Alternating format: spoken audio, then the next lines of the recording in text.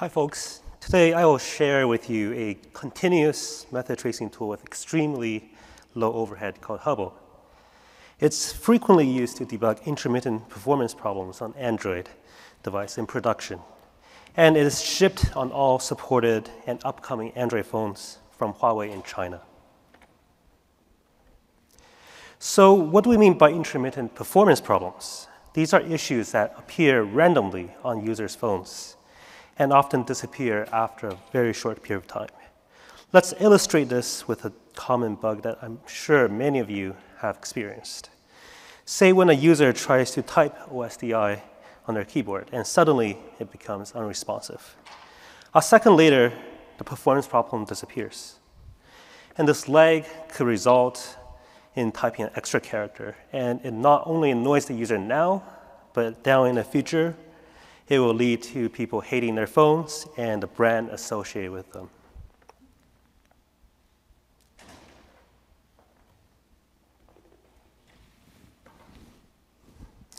But why do we focus on intermittent performance problems? Are there any more other bugs like fail stop or crashes which are more important? Well, not really. Because for two reasons. First, code changes have to pass through many stages of function and performance testing on app developers and system vendor side before they can be shipped to production. As a result, the bugs that are caught in testing are those are highly elusive. They require a very rare combination of events and environmental factors to trigger, exactly like those intermittent bugs. The second reason is that intermittent performance bugs are the most painful ones to debug because engineers don't have the sufficient diagnostic data. Only extremely sparse traces are available. Sometimes there are uh, very low quality application logs, but surprisingly, Google actually officially recommends turning all logs off before release. And finally, there are some periodic stats between system and hardware layer. That's it. Unlike a fail stop bug, where once it fails, we can afford to immediately enable effective heavyweight and tracing and logging. Unlike after a fail stop bug, however, where we can, uh, for intermittent bugs that go away quickly, collecting fine-grained tracing traces by the time that we detect a bug is already too late. What we're missing here is debugging is the sequence of events leading up to the bug. To be honest, I really pity those interns that were assigned to reproduce these bugs without progress for weeks on end. It's not uncommon to have open bug tickets stretching month up to year. When the bug cannot be fixed, it's often the system vendors like Huawei that bites the bullet. When a non-tech savvy user experiences an intermittent performance problem, they often try to reproduce the problem on another phone. But given the intermittent nature, the problem likely won't appear very soon. So they conclude that they simply have a crappy phone. Similarly, for application developers, when they can't reproduce the problem on other phones, they blame the system vendors. In reality, the problem could be anywhere. And it's only because it's intermittent that the problem does not manifest at a certain time or certain environment. This results in rounds of finger pointing between system vendors and application developers, but all without concrete evidences. Regardless of whose fault it is, in the end, it is Huawei and indirectly the Android ecosystem that is losing market share.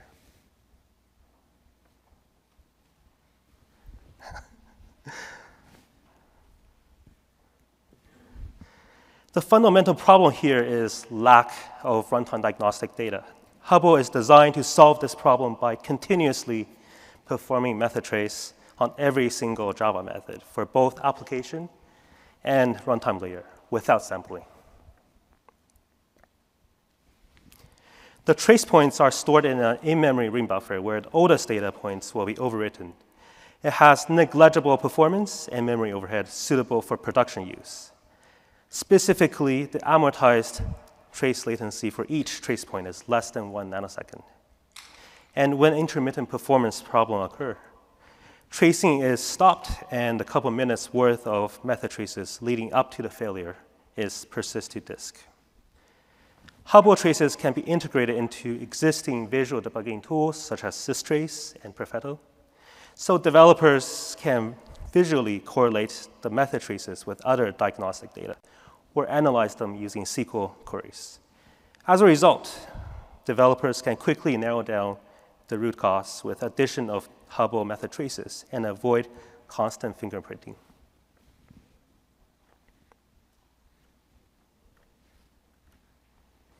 Hubble also strives to protect user privacy. Existing error reporting systems such as Windows Error Reporting, macOS, or Firefox crash reports collects a mini dump of the memory image. In comparison, Hubble's traces are far less sensitive. They only contain the method name as well as the timestamp. They do not contain any variable values. And like all error reporting system, a consent is required to collect user's data.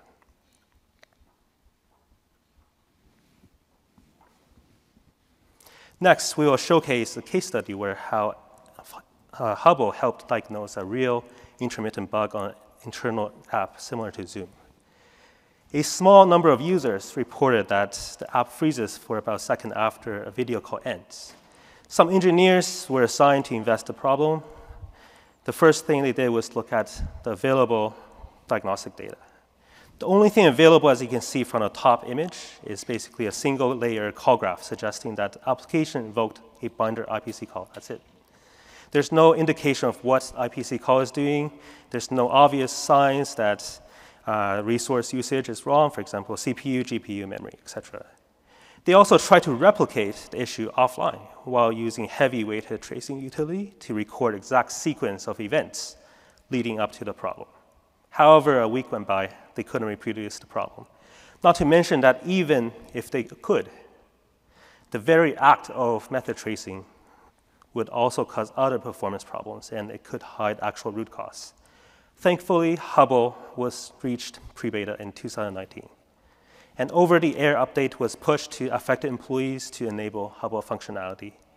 Within a few days, method trace of subsequent event leading up to the intermittent performance problems was captured by Hubble. A quick glance at the UI on the bottom image shows the app was calling sleep from a UI thread after invoking binder IPC call. A closer inspection revealed that immediately after ending the video call, a series of method call related to audio manager was invoked. And with this new information, we brought on a engineer with audio stack experience. And he quickly identified the root cause.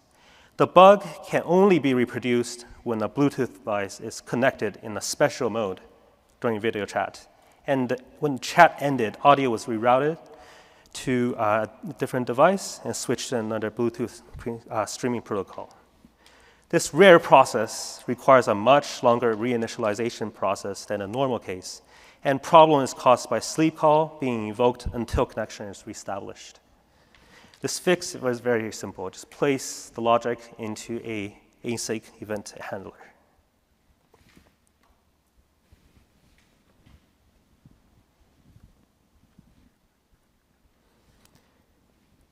But there are many method tracing tools like gprofs and tools like deterministic replay, or, of which offers even finer grained traces. Why can't we implement them?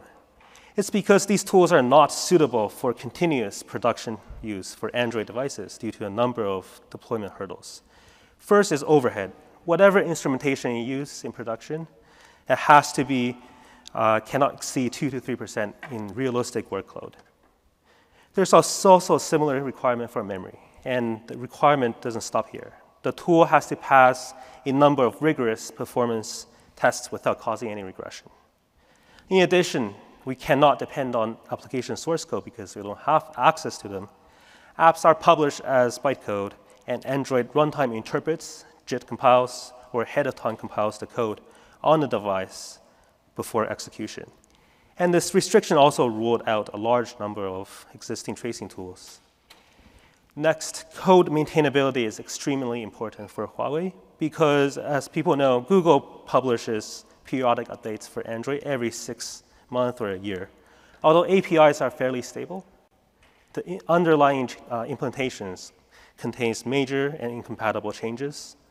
Simply put, anything that requires significant intrusive changes to the system layers are impossible to rebase and therefore uh, pretty much forbidden. Finally, ARM has big little architecture where an application can run on either a big, powerful core capable of out of order execution or a small, low power core that cannot. Hubble's tracing overhead needs to be negligible on both the big core and small core, and therefore it cannot rely on advanced features like automatic instruction reordering, and we must perform them manually. We leveraged Android runtime compiler to embed the trace point into the application. We also modified the interpreter as well. We need to be careful when embedding tracepoint into the code because compilers can easily optimize the code out because there's no dependency with respect to the method that they're tracing. We avoid this by inserting the trace points at the last stage of the compilation flow after all the optimization passes. We also inline the trace point to avoid expensive trampolines and avoid uh, saving register to the stack. Hubble's trace point is written in hand-optimized assembly for a few reasons. First, because we embedded the trace point at the last stage of compilation flow, so we had no choice. However, more importantly, the assembly gives us more control. At this level, we can take advantage of the runtime itself to more efficiently capture the method name and timestamp. Android runtime always places the current method pointer as specific CPU register upon method entry. So to record down the method name, we simply persist the method pointer from the CPU register to the memory. Only when we persist the trace do we actually resolve the method name to its actual name. Similarly, we persist the clock cycle count system register for timing rather than a, a, a real-time clock. Efficiently gathering these trace data is almost impossible otherwise. Since Huawei also designed some of their own SoCs, we collaborated with a chip designer such that we can make precise uh, uh, control on what, when, where, and how trace points are placed and optimized for the uh, specific CPU architecture. We also used variable length trace point encoding that was amortized to only 8 bytes per trace point, or a single 64-bit integer. And this helped significantly with performance and maintainability of the assembly code. Hubble needs synchronizations. It uses a system control thread that turns trace on and off. Whenever a performance anomaly is detected, the system control thread needs to stop the tracing, say by setting a global variable. And only after trace is fully stopped in the application thread, the control thread can safely persist the trace. Naively, we can use a shared variable protected by synchronization primitives. However, the overhead of regular atomic instruction-based synchronization primitives are way too expensive. Specifically, checking whether the trace is on or off every single trace point is on the critical path. So we have to use ad hoc synchronization, even if it goes against the advice of an OSDI paper written by my advisor's advisor. So we leverage a few opportunities specific to Android and Hubble. First, we have a local thread buffer for each thread, and there's a safe way to do ad hoc synchronization without atomic instruction-based synchronization primitive when there's exactly one producer and one consumer. In addition, we can tolerate some delays in the communication. For example, even if there are some delays between when we send the stop signal and when it's actually received, there isn't an issue because our trace buffer is large and we can still capture the events leading up to the failure. Check out the paper for more details. For evaluation, we couldn't really evaluate the performance overhead under, even under controlled environment. However, we have designed a series of micro benchmarks that are unrealistic to expose Hubble's overhead. Under those scenarios, the overhead is more than three orders of magnitude lower than commonly used method tracing tool for Android. And for those who are interested, it's described in the paper in detail. And I guess we're the victim of our own success. In August 2020, Huawei shipped Hubble on its Android production branch. Early prototypes were merged into the main development branch in 2019, and engineers have been using it since then. Huawei offers a beta program where users can receive new experimental features before GA, and Hubble Trace is enabled there all the time. For other users, Hubble can only be enabled with express consent. Trace collection frequencies and retention periods vary depending on the type of user, the level of consent, operating regions, and local regulations. A common upload uh, policy is that at most three traces are uploaded. Which three traces upload is configurable. For example, we, sometimes there are targeted campaigns to improve certain applications. Besides debugging issues in production, Hubble is equally useful for triaging and debugging for automated testing. Whenever regression is uh, detected, Hubble's traces are automatically collected along with all other diagnostic data, helping developers quickly narrow down the root cause, often without reproducing the problem. For takeaways, Hubble is a low overhead continuous tracing tool that is specifically designed to solve the finger pointing problem when intermittent performance problem in production cannot be reproduced or diagnosed. Hubble code is available on all currently supported Huawei phones in China, and beta users have method trace enabled 24 7 for every single application. Engineers can now triage and quickly address hard to reproduce intermittent problems. And that's it for this talk. I can't talk on forever, but I think I'll open the floor for questions.